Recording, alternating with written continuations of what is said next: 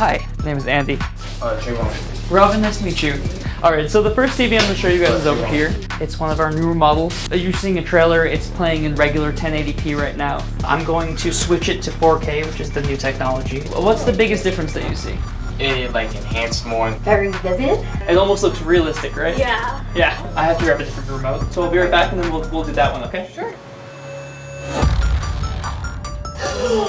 Oh my god, Adriana.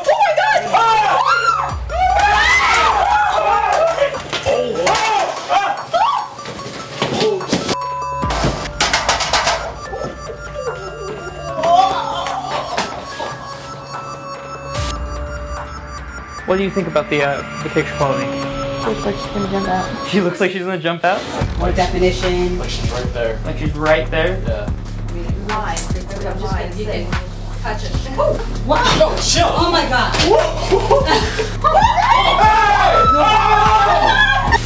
Brighter. Quality, depth. Hey! Oh my god. Oh!